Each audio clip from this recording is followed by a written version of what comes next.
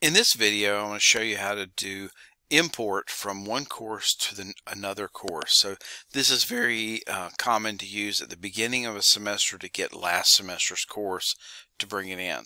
So I have here a sample course and the thing to remember is import is always additive. It's always adding content to your course.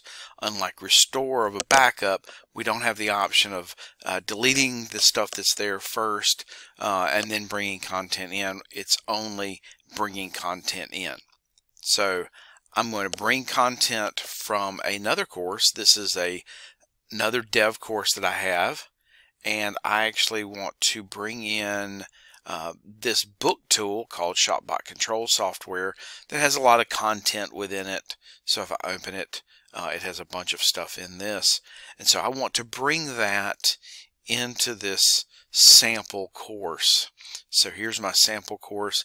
I'm going to start under More to Course Reuse. Once that comes up, I'm going to go to Import. That's the default and I'm going to go down here and find a course. I've got this uh, development course that I'm going to use. And hit continue. And I can pick some of the pieces in here like uh, I don't want to include groups or groupings or anything like that. And if you're not bringing in a quiz it won't include question banks but often I don't want that so that I don't fill my class with questions from the course I'm bringing in. Just like with restore and backup, I can at this point pick jump to final step and it would bring everything over from that development course to this one, but I'm going to just custom pick uh, one thing. So I'm going to go to the next button. And so here's all the content that's in this course. So here at the top, I'm going to say none. And I'm going to scroll down to the first section. I'm going to pick the first section and I'm going to pick that book with that content in it. So that's the only thing in the course. I have to pick this top piece or the section topic uh, or it won't bring anything in from that section, but it's only going to bring this one item in. And then I'm going to hit next and scroll down again and perform import.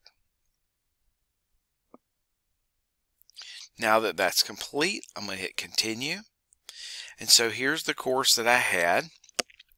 And notice it was in the course that I brought content in from, it was in topic, in the second topic down here, the second group, uh, this being topic zero, this being the first topic or the second group of it.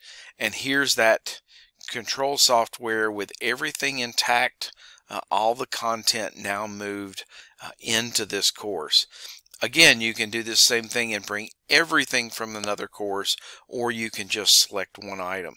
If you do bring everything in from another course, be aware that you will end up with two announcements forums. Make sure you delete one of those. Uh, you do not need to have two of those in your course.